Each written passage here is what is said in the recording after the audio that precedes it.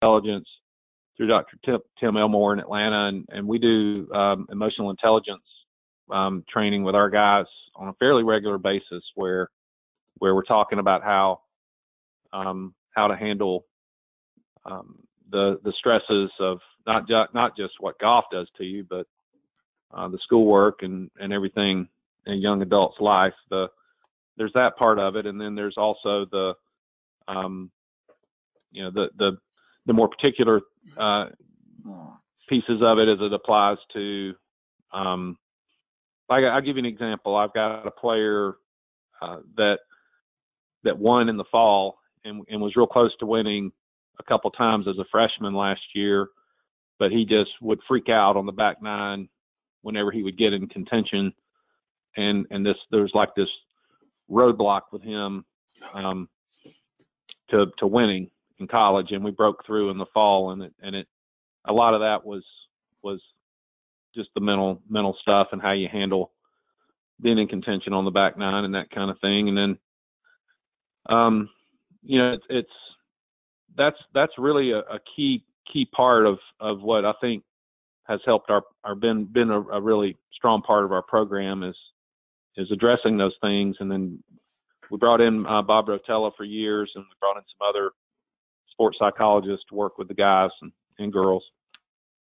So it's a it's a huge part of what we do. What do you think the golf ball is going to do by shortening the golf ball? Hmm. Well, um, I wish they would just shorten the tee. To be honest with you, I think I wish they would try that first. I think if you would just limit how high you could tee a ball up, um, I'd like to see people play. Interesting. Um, from off the ground or pretty close. I'd like that's been my. Um, I, I think if you if you limited how high you can tee a ball up, I think you'd see spin come back into the game and um, you wouldn't be able to quite max out, hit up on um, drivers, you know, this hitting five up on drivers and maxing out, things like that. I think it would take that out. And um, that's what I would like to see done first with the current equipment and, and ball that we have is just make people play. I mean, let them tee it up, but but a tee tee could only be basically like a, a par three tee. Wow, that's that's a really interesting take on that. Isn't that, isn't and, that um, yeah, that's pretty good idea. Yeah, that's a pretty is. good idea. Great... I hadn't thought of that one.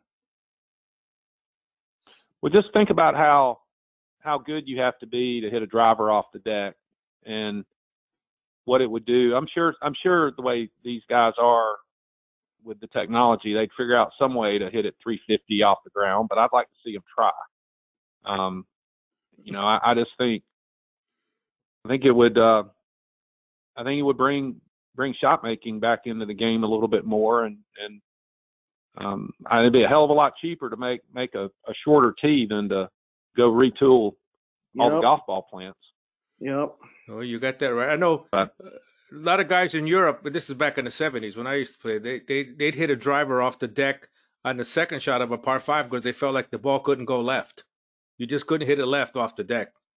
Period. You know, you'd hit a little squirter left mm-hmm. to right, or you know, and and uh, you got a point. I mean, there's no way you're going to hit it as far. You got Darren preaching, which which I agree with him, using a four inch tee and then hitting it on the upswing, and then you could lower the loft on the golf club, and so you take all that out of play. That's that's a good idea. Yep. You're a smart mm-hmm. man. well, I, I don't know about that, but I, I've uh, I mean, at least got got opinions. no, done, whether they're good ones or not, I don't know. You've done a lot of good things, and I tell you what, being a coach at a college like you are, you know, one thing is getting kids to play better golf and what have you, but you know, uh, just some of the things you said about trying to make them better human beings and and uh, whether they take their hat off when they go inside, whatever, you know, preparing some of these young people for life is probably more important. You know, and a coach maybe has as much influence, if not more, than their own parents in a lot of ways. And uh, uh, that's that's a very noble thing to be doing. Well, it. You, thank you, but um, yeah, you still have to play well or you get fired. But it's uh, it's it's definitely oh. definitely been one of the things that that I I want to I want them to have fun. I want them to grow. Um, I want it to be an incredible experience for them. I want them to have teammates and friendships, relationships that I'm getting, you know, I can get all sentimental about that stuff, but um, it it is it is really a big part of what we try to do. You have any other questions? Well, we've had a, no, we've had a great experience with you, Bill. Thanks so much for your time. I'd like really to give a sh- Bill. Paul Belmont. Go ahead, I'd like Paul. to give a shout out. I'm South Carolina class of '73. Oh, I was a walk on. Oh, great. I was walk on basketball when we were number one in the country, back with Manning and Roche and Tommy Owens. Oh yeah, Bobby Cremins, who you may know from Ge- Georgia Tech. And Coach uh, Cremins very well. Yes. Yeah. You know, I'm six four, and Bobby used to stand next to me. And Bobby's about, ah, he's maybe six foot five eleven. who me? His hand would go, his hand went eight inches over mine. oh, not me. Eight inches. eight inches over mine. And he was four inches shorter. But I- I had a question for you. I was a walk on, I wasn't one of the star players. Do you have walk ons in uh, college golf, or is it all recruit and scholarship? Well, I've had I've had some invited walk-ons. It, it's tough for us. We have a, a Title IX roster limitation of ten players, and so Mhm.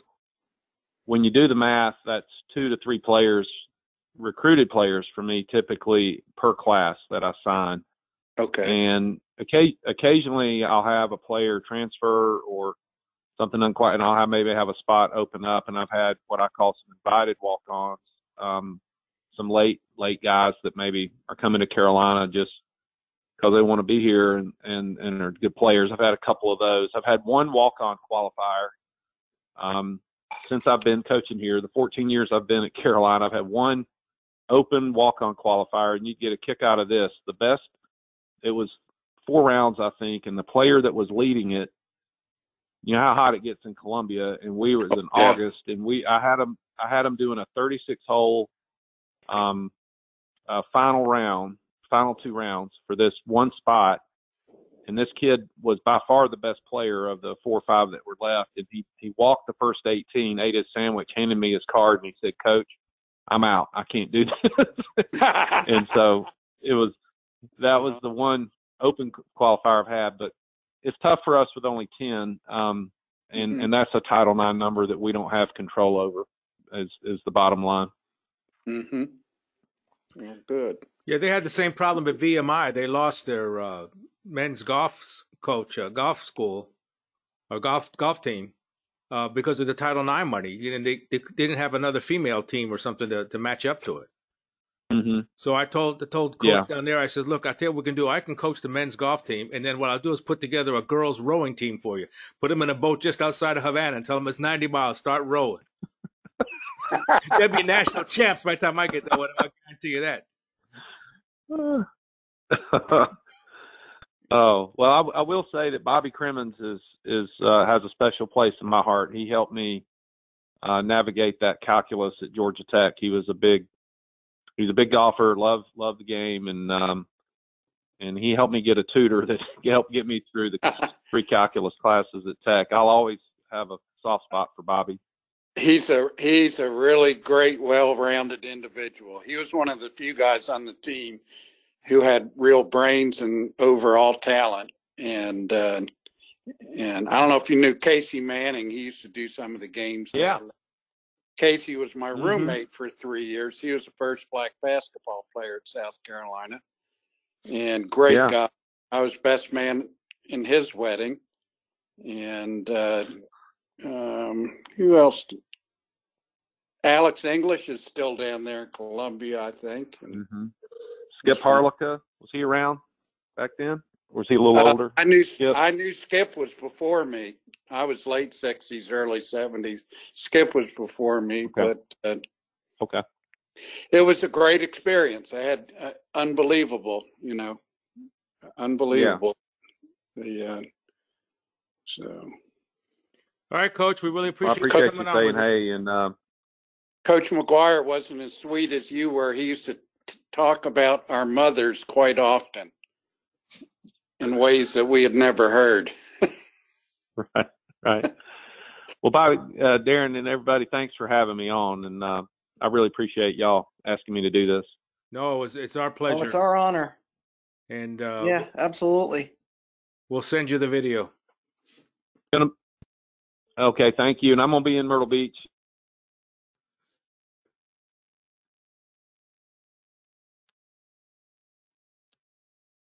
Hello, did it go away? Oh, crap.